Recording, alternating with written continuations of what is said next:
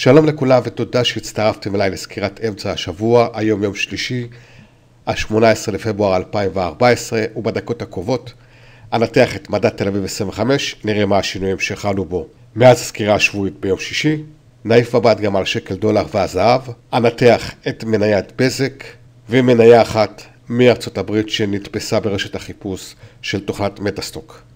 נתחיל עם מדד תל אביב 25, גרף יומי.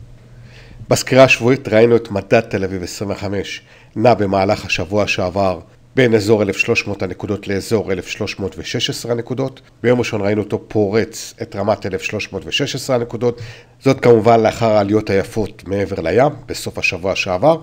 ולמרות כל העליות לא ראינו פה איזושהי תנופה והמדד בקושי הצליח להגיע לאזור 1,320 הנקודות כאשר רמת ההתנגדות החשובה שלו היא כמובן רמת 1,325 הנקודות.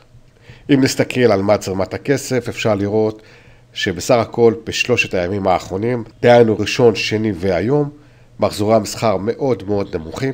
זאת בהמשך לכך שלא היה מסחר מעבר לים ביום ראשון וביום שני, אתמול לרגל יום הנשיאים, כך שהרבה לא השתנה מעבר לכך שהמדד פרץ את רמת 1316 נקודות. בואו נסתכל על הגרף התוך-יומי, גרף של 30 דקות. כאן אפשר לראות בצורה יפה מאוד כיצד מדד תל אביב 25 נתמך על רמת 1316 נקודות, שתהפוך כעת לרמת התמיכה. זאת אומרת, כלפי מעלה יש לנו את רמת 1325 נקודות, וכלפי מטה יש לנו עליית מדרגה כרגע לאזור 1316 נקודות כתמיכה.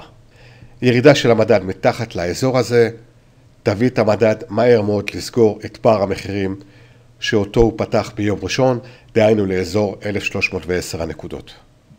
בואו נעבור כעת למסחר בשקל דולר.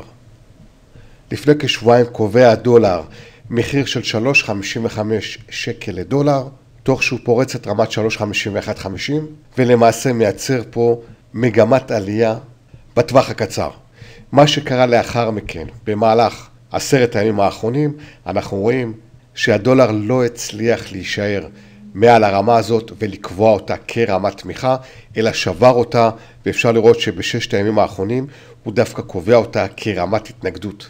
מה שקרה בפועל, הדולר ירד וקבע למעשה את האזור הזה כאן, 3.50 כאזור התמיכה החדש. אפשר לראות כמה פעמים הוא ניסה ולא הצליח, ברגע שהוא חצה אותו הוא עשה זאת בצורה מהירה וכרגע הוא קובע את הרמה הזאת 3.50 כרמת התמיכה.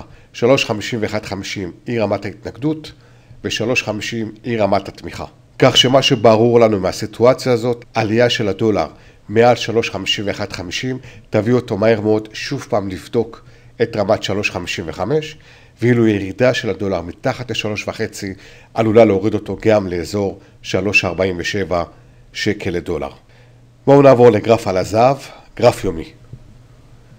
בסקירות האחרונות על הזהב ראינו כיצד הוא לא מצליח לפרוץ את רמת 1270 הנקודות, רמת התנגדות מאוד מאוד חשובה, אך אפשר לראות שמרגע שהוא עשה זאת, מרגע שהוא פרץ את רמת 1270, הוא עשה זאת בנחישות, עד שהוא מגיע בסופו של דבר לאזור 1330 דולר לאונקייה.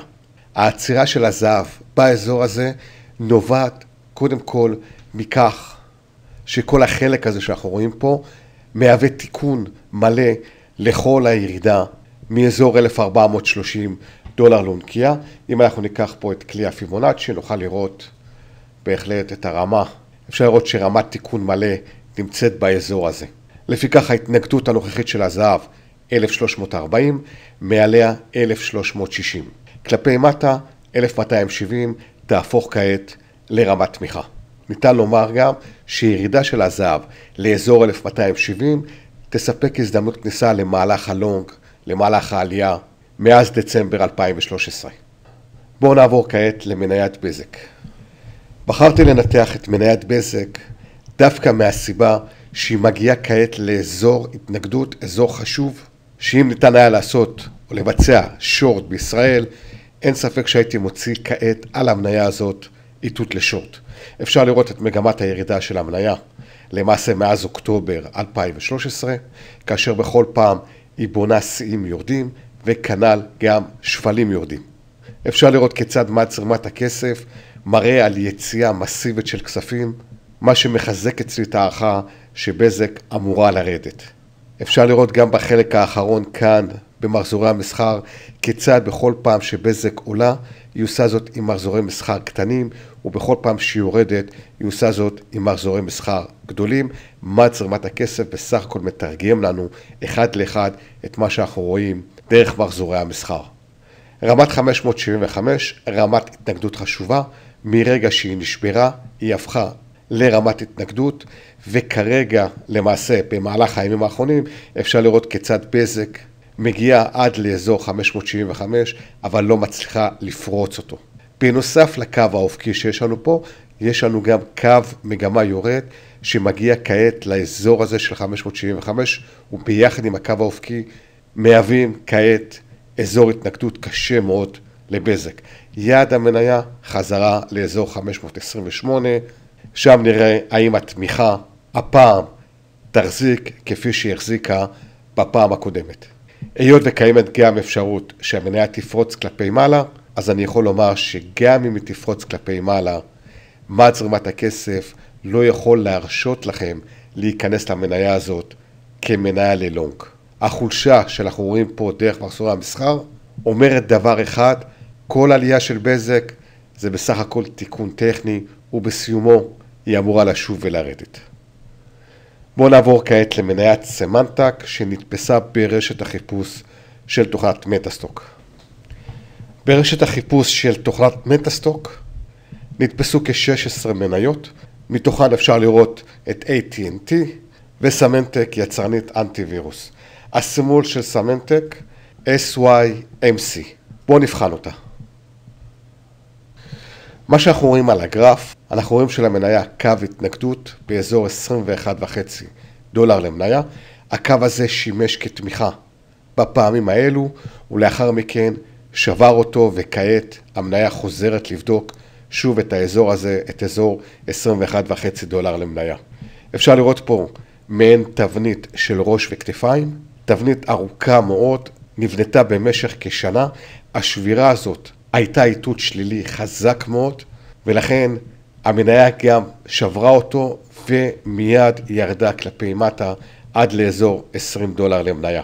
במהלך הימים האחרונים, עם העליות שראינו במדדי ארצות הברית, גם מניית סמנטק ביצע תיקון טכני עולה, אפשר לראות מחזורי המסחר כאן היו נמוכים מאשר מחזורי המסחר בעת הירידה, מה שמלמד על כך שהעלייה כאן כרגע נחשבת כתיקון טכני ולא מעבר לכך.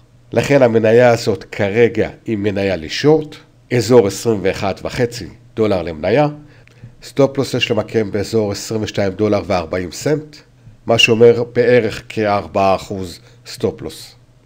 אני רוצה להזכיר לכם ששירות האיתותים על מניות מארצות הברית ניתן חינם לחודש ימים וללא כל התחייבות, אפשר להירשם לפי הכתובת שרשומה כעת על המסך. עד כאן להיום, אני ג'קי ברוך, תודה רבה שהצטרפתם אליי, נתראה בסקירה הבאה.